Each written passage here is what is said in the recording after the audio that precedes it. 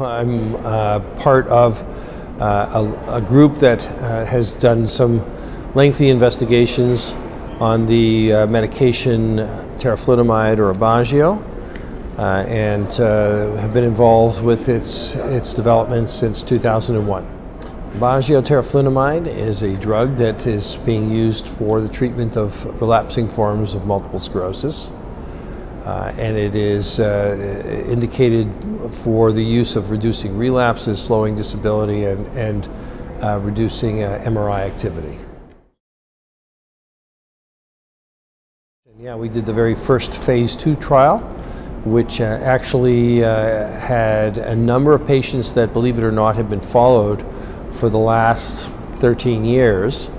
And so one of the things that we've been reporting on at this meeting is in fact the 12-year follow-up of uh, most of that cohort that can still be obtained and the information that we have on it. So this is uh, information concerning the durability of the response to uh, teriflunomide. Also, uh, a big one is safety. Uh, are there any safety signals in people who've taken this drug for more than a decade that did not appear in the registry phase three two-year trials, which were placebo-controlled. And I think the, the message is that uh, in those patients who've had an early response, they maintain the response and as long as 12 years with uh, very low relapse numbers uh, and uh, no significant change on their disability. Uh, and more importantly, no delayed safety issues whatsoever.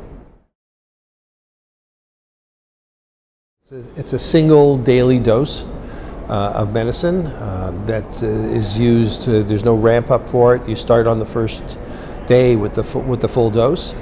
There are two doses licensed in the United States.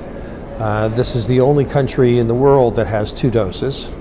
Uh, most of the countries uh, recognize that the 14 milligram dose, the large dose, is in fact the most effective one and that has come out of every single one of the trials, and uh, we're not an advocate of the lower dose. Well, the, the efficacy is measured by, I think, a number of parameters. Uh, the FDA forces everyone to look at one for the purposes of registry, which is relapse rate reduction. Uh, but uh, we, we look at a, a group of, uh, of, of, measures. Uh, the, the most important one we're trying to get at, of course, is disability.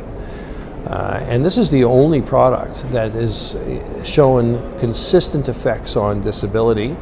There are at least two other oral medicines on the market. Neither of them showed consistency in, in slowing disability progression.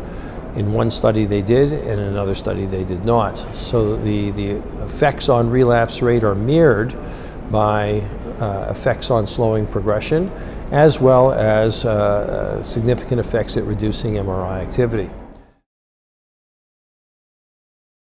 So we believe in the relapsing forms of MS category that a lot of progression is actually being uh, pushed by attacks that leave deficits behind.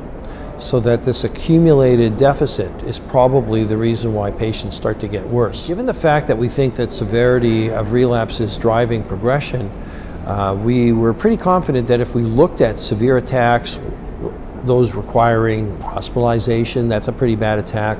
Um, often the use of steroids is reserved for more severe episodes, so as a surrogate for severe attacks, we looked at that.